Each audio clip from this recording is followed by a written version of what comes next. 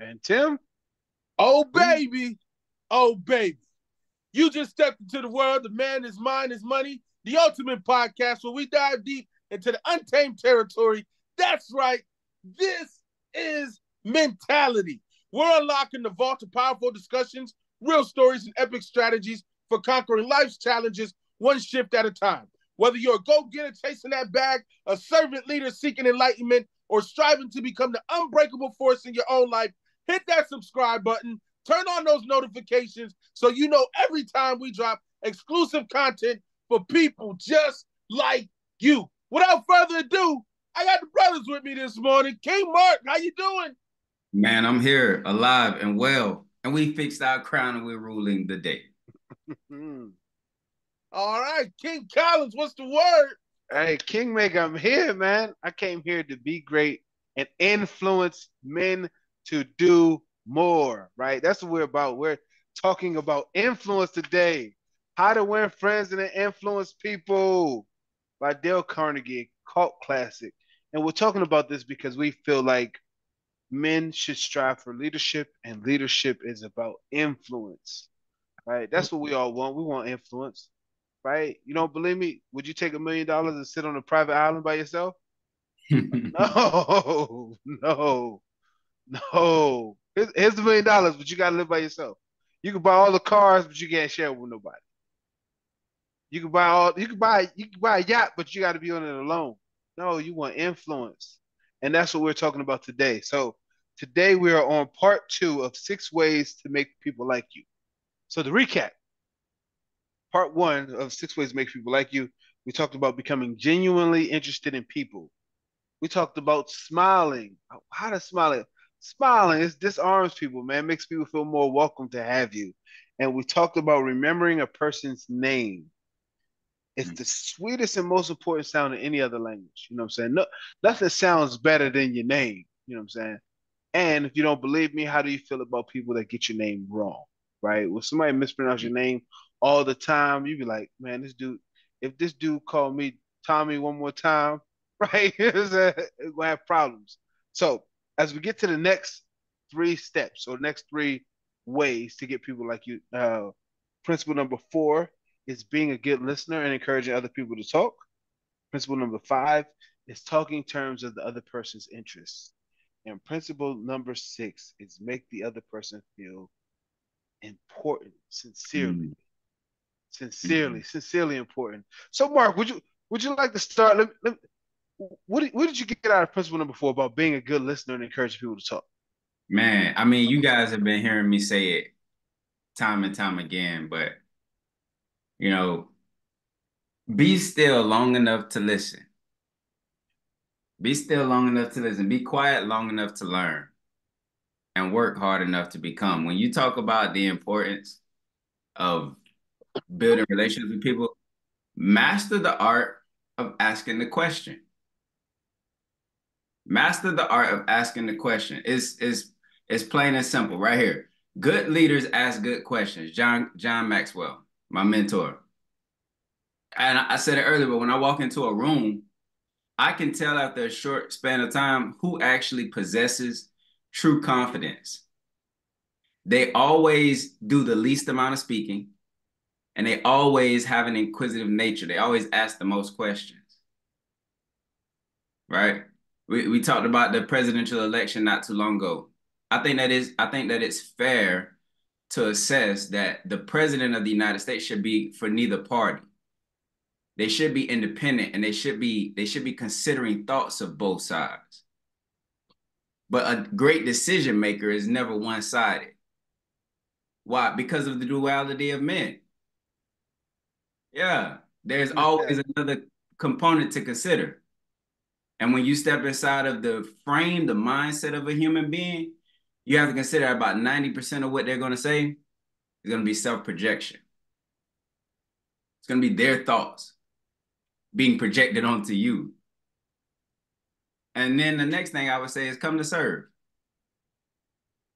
You know, if you if you come with a heart of a servant, you got to think about that. Like, what does it take for me to serve Tim? What does it take for me to serve CJ? I have to I have to ask you questions. I have to ask you questions. Hey, how would you like your eggs? Scrambled? Easy over? Just egg white? Salt, pepper? I have to stop and ask questions. And that requires me to listen. There's nothing about being able to serve humans, which is the call of leadership, right? But there's nothing about being able to serve people that requires me to be the one doing the speaking. Very, very little about serving requires me being the one doing the speaking, but it has everything to do with my ability to listen and retain. And what we see here over these next six chapters is the is the the calamity of humans, the ability to retain. you forget my name. right now, you I mean, it's hard to go somewhere and get good customer service. It is extremely difficult to go into an establishment and they show good cut and cu- service is my love language. So forgive me. Right. But it's hard to step inside of a place and get good customer people who are giving personal attention. Right. Let people not be numbers.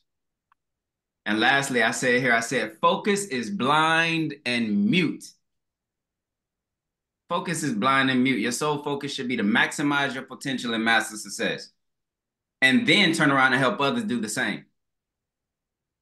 Repeat that. Your sole focus should be to my sole focus, not you. My sole focus should be to maximize my potential and master success. And then turn around and do it for other people. But none of that, none of that requires excessive talk. Right? Instead, be willing to be still long enough to listen be quiet long enough to learn, and work hard enough to become. Yeah, I, I really, really like that because you know, especially when you're talking to business leaders, when you're talking about sales, right? A sales conversation, and people have been misguided, lied to. I mean, there's tons of sales training. People misguided and lied to to think that sales. I'm trying to, I'm showing you my charisma and my enthusiasm, and I'm hyping you up, and I'm just doing a bunch of talking. But that's not sales Good. Right. That might be persuasion, right? I see it. I watch my guy. He sells the pink stuff to do that tells jokes. Mm-hmm. You know, yeah, right. What he sells is about conversation and jokes and laugh. It's it's a conversation, but in the the selling part is when he asks the question. How, if you had this, how would you use this? Would you use this to do this? Would you use this to do that? Right. The, the questions that he asks, that's the sales part. When you're selling, you're trying to get information to find out whether or not I even have something that's for you. Not I'm just trying to sell everybody what I have. Right?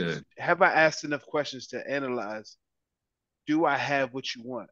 Right? They do like sell me a pen. Well, what do you need to write? What are you writing? Have you ever handwritten a letter?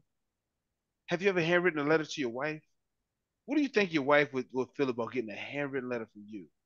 If you're going to handwrite a letter, you want to make sure you handwrite it with, with a pen that conveys the smoothness of the words that you're trying to say. Like that's how you sell a pen, right? That that's, boy good. You know good. but like, like, like you, you ask the why, you get the information behind it, you know, and so that's what we miss. And and this was something that um, I had to learn, not as difficult, but I do it, but it's hard to explain how, that I do it. And it's because of the simple fact that um, at first when you're in a room and you feel the need to, to, to talk the most, like you feel inferior. You feel insecure when you're in these rooms and you have because you're trying to talk. And this I would do this. I would talk to justify me being in the room. Right. Like I must be here. They need to hear how smart I am. They need to hear that no, they need to hear this about me. They need to know that I belong in this room because I don't feel like I belong in this room. Mm-hmm. Right? Essentially. Right. Opposed to right? Walking out of a room or walking into that room and just being genuinely curious, because that's what this that's what this is about. Being genu- genuinely curious in the other person. I'm curious enough to ask you your name and pronounce it right. I'm curious enough to ask you where your name comes from. Are you a junior? Right? Where, where does this come from? I'm curious enough to ask, so so t- you have children? Tell me about your children. I'm curious. Mm-hmm. I'm curious enough. Tell me about your career. Tell me about right. These are the things that really work. And as we're seeing this shift in the job market, this is how you can apply it when you go on interviews, ask questions about the company. Ask questions. How did you get to this job? How long have you been here? Why did you decide to stay? Right. That's the thing that people like. People love themselves. Even us, we love talking about ourselves. Mm. Right. You want to get me talking? Ask me about my daughter. Right. You know what I'm saying? We love talking about ourselves. Right. So, so this is what you know, if you want to be classified as a good listener, if you want to be classified as a good conversationalist, just listen. Right? Be curious enough to ask people questions about the things that they're ultimately interested in. Tim, what do you got? Man, the royal road to a person's heart is to talk about the things he or she treasures the most. And, and for me, it's simple. Like, I'm going to research you. Yes, if you have a meeting with me, I'm going to find out who you are, what you like, what are your dislikes. You know what I mean? Because I need to know the character of the person that I'm conversing with. Right? I mean, we we see it in we see it in football. You know, you study the opposition, you study their play calls, you study the play motions and everything like that. We see it we see it in the court systems. We see it in all of these different facets of life whoever it is you're going to be sitting across from the table from, you need to know who that person is. You need to know what moves them, what motivates them, what what ticks them off. You know what I mean? So that way you can avoid certain conversations and then you can highlight certain conversations. Researching someone's social media profile can gain you valuable insight into their interests, hobbies, and personality. Most people use social media as a journal nowadays. Most people will tell you exactly what they like, what exactly what they don't like. Even if they don't put it verbatim, if all they do is ever is repost stuff, you can create a narrative off of whatever it is that they're reposting. If every Tuesday you go to somebody's page and you see they posted something about Elon Musk, there is something about Elon Musk that they like. So guess what? Bring up Elon Musk. Talk about him. You know what I mean? Ask them about whatever's going on. Ask them about X. Ask them about Tesla. Ask them about whatever it is that Elon has going on because there is something there for you to gain the unfair advantage. And once people get into the room and they see you're a good listener, the craziest thing happens. Once they realize that you're being attentive to them, the wildest thing happens to me. They always want you to talk. Once they see, oh snap, you you like what I like. Well, what do you think about da da da da? That's when you pounce on them like a Honda, and you go in there, you go for the kill, and you handle your business. No, I'm teasing, man. I'm going for the kill. I'm for the kill. but people, people want to feel, people want to feel important.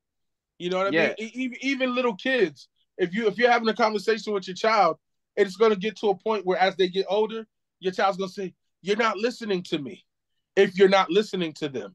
You know what I mean? People want to feel like they're being heard on things that they're passionate about. Yeah. Um, and that's a good segue because we get into principle five. Talk in terms of the other person's interest. Well, how do I find out what you're interested in, right? So, for example, uh, Tim was wearing a 49ers hat. Well, if I was to approach Tim to talk about, man, I grew up watching the 49ers, man. Steve Young was my favorite quarterback because I'm also a left-handed. I'm also a lefty. Man, I, you know, I, he he made me believe that it, it, it was the first left-hand quarterback I seen, and he won a Super Bowl when I was a kid, right? Well, now we have something in common that we can talk about, and we just open the floor for conversations, right? And so, if I had never met Tim in, in, in my life, him wearing that hat gave me something that I know he's interested in for a conversation basis. And that was just curiosity. Man, how'd you become a 49ers fan? Right. Mm-hmm. And and the thing about this, what I really love about this book is this stuff only works if you're genuine. Yeah. Right. Absolutely. It, it, it's not, if you try to use this to manipulate people, it won't work. Mm-hmm. It won't come off as authentic. You have to authentically be curious about people. That's good. That's, right. And, that's and good. if you are not generally authentically curious about people, then you have to ask yourself, why don't you care about nobody else? Right? I don't like people. I just don't like people. Okay. That's all. Why don't you care about people? Right? You know what I'm saying? And we talk about like, well, like I don't need people to like me. Yes, you do. You, you do need people to like you. And why would you want people to not like you? Mm. Why would you want people to not like like what, what what's the angle? What's the what's yeah, the angle? Because there's no new friend. Ain't no new friend. That's they why they want to get canceled. They want to get canceled. They, they, you don't go chose violence and you want to get canceled.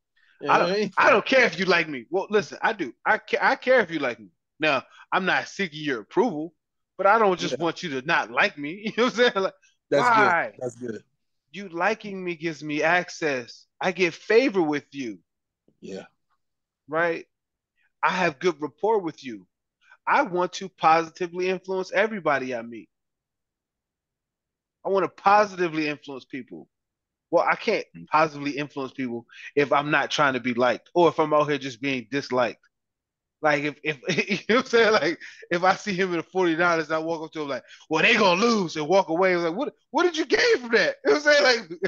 Like I, hey, listen, you know like, those Chiefs fans are rambunctious like that, bro. Don't blame me. No, it, it, it, and this is this is a balance because somebody's listening in on this and they're like, oh well, what about the haters? What about them? Right. That's my whole point. Just, just because someone dislikes you doesn't give you the power yeah. to dislike them. No, see, like we have to understand success success breeds hatred. It's really not even hatred, it's really envy. Yeah. And envy is just admiration yeah. conscrewed. Yeah. That's it. And they don't know how to express it. That's all that it is. So when you can see a hater as a person who really admires you, now you have sympathy Uh, or maybe even empathy, right? Depending on your journey, your road. You might have been the hater, right? I, I remember when I was hating just like you, right? Yeah, right. right. Man, you and remind like... me of my hating self. right. They used to call me Jose. Jose, what do you mean? Jealous one, still envy. Jealous one, still envy. Man, my name was Jose. Right? Why that? Well, I feel like you got something unfairly. I don't feel like you worked hard. Whatever it is, right? But just yeah. express genuine curiosity. Yeah. Hey man, how did you get? It gives you access. It gives you access. What does access give you? Access gives you favor. The unfair access advantage. gives you favor. That's your unfair advantage. Yeah. Access. Why, why do I need this? Because uh, let's keep it real. Let's keep it real. While God doesn't need you, God can do nothing on earth without you. Moment. He We've been listening to the same people. That's crazy. And in order for him to leverage, in order for him to use you, you have to be agreeable. You have to be relevant. Yeah. You have to be. And that's why the whole call is to show love. Yeah. That's the whole call. That's the beginning and the end of it all. Showing love. Love is my cologne. Yeah. You smell it. You smell huh? it. Come on, man. Love would smile, right? love would know your name, right? Yeah. You love to be loved. Yeah. That's that's, that, that's it though, right? There's only so much negative negative seeds you can sow before you start getting what you sow right? Okay. Every seed has a harvest. Well, you out here sowing strychnine, you know what I'm saying? You sowing poison ivy. Right? You don't, you know, with, with those negative things you're sowing. So, so listen, there's nothing wrong with standing on your values and your beliefs and not compromising. But there is something wrong with being intentionally disliked. Mm-hmm. There is something wrong with being intentionally argumentative right? There is something wrong with you intentionally not wanting to be liked, right? I can be agreeable and still stand on my principles and beliefs because even with someone I disagree with, there is always a place of, of, of overlay. We humans, right? We have something in common, right? We made, we human. Hey man, what do you think about this? If I don't agree with what you think about this, hey, why do you think about that? Right? So I can talk to I know they're trying to divide us, right? there's there's a ploy to divide us as people so we don't come together. But in them trying to divide us, I always look for places that I have commonalities, and I look for ways that I can talk in the person other person's interest, even if you're interested in something I don't like, because you would do it with your children. Hmm. right? You would talk to your children about dinosaurs for an hour if you don't, even if you don't like dinosaurs. You would talk about the stars, right? You you would talk about things you don't like with your children. When when you're dating, oh, when you when you courting somebody and you're in that wooing phase, oh, you you'll talk for hours about something you're not interested. You, you you'll gonna- find you'll find something, right?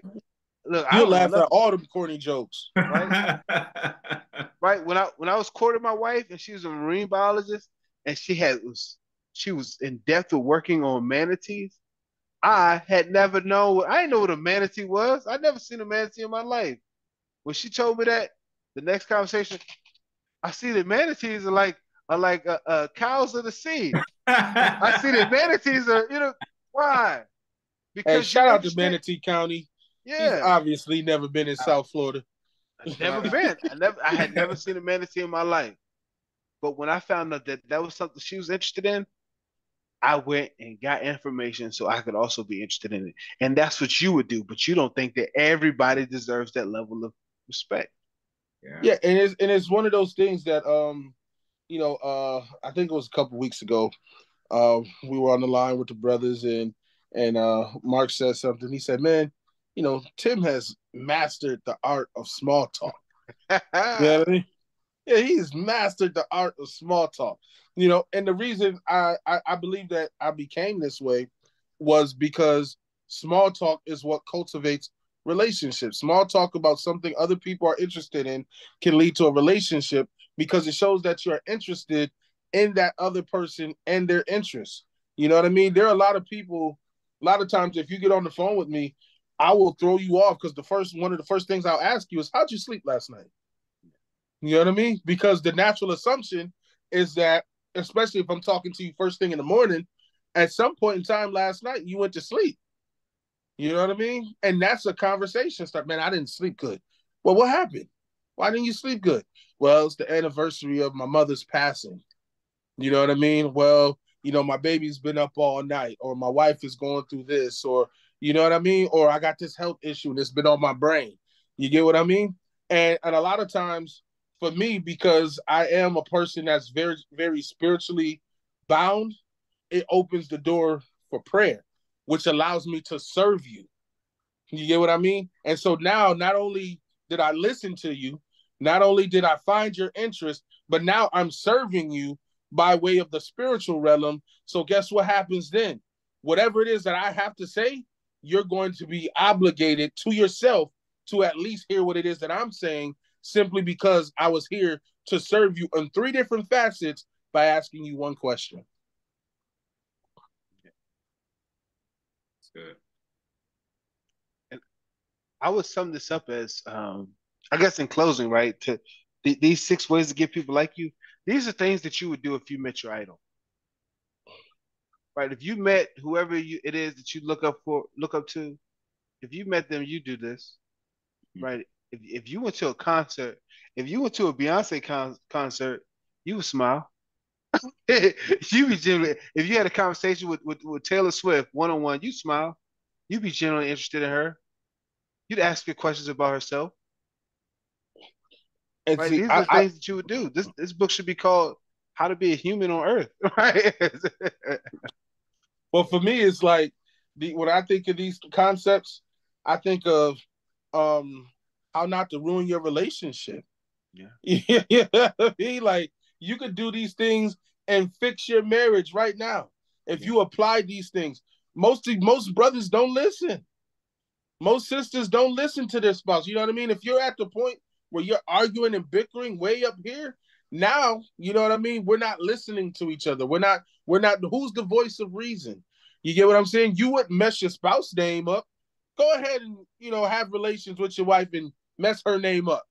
Let me come back next week and let me know how that turned out for you. You know what I mean? Like walk in the house and not smile at your wife. Hey, baby, how you doing? How was your day? See if she don't give you the attitude. And guess what? She's a cultivator. That means whatever you give her, she gonna multiply. So if you give her attitude, she gonna multiply the attitude and give it right back to you. You know what I mean? So I, I say like if you're looking for a relationship, this is a great book to read. This is gonna make you a better person internally. And if you're and if you want to enhance your relationship with the woman or the man of your choice right now, I say read the book as well because it's going to enhance your relationship. I don't think you can go wrong with this, man. Make the other important feel important and do it and then do it sincerely. Like that's Yeah. Marq, Marq, you can give him the uh, the Waldo Emerson Yeah. quote. You can close That's out it. that Waldo. That's it. I like I like what Waldo said. Waldo Emerson, right? He said every man I meet is superior to me in some type of way. And in that I learn from him. In that I learn from him. And so what does that mean? Keeping it simple. Here it is, King. Power thought. Fight to be interested, not interesting. Fight to be interested, not interesting. You do that, you cover pretty much chapters four through six. and just you like that, yeah, Hey. got it. it's a wrap, baby. Thank you for joining us on this incredible journey. We hope you've been inspired, motivated, and above all, empowered to embrace your true potential. Remember that it's not about what you heard here, but what about what what you do with what you heard here. Um, w- ah, with what you do with what you've heard here. As we part ways for now, know that we're cheering you on from the sidelines. You've got what it takes, and the world is your playground. The Mentality Tribe is growing every day, and we want you to join us because we breed kings. Don't forget to subscribe to our YouTube channel, The Academy of Kings. Comment and check out the other incredible episodes for more laughs, insight, and mind blowing content. You won't want to miss it. You can al- always join us live for our mastermind exclusively right here before we go live. Before we go live with this podcast by typing "We Breed Kings" in the comments, and we'll get you connected.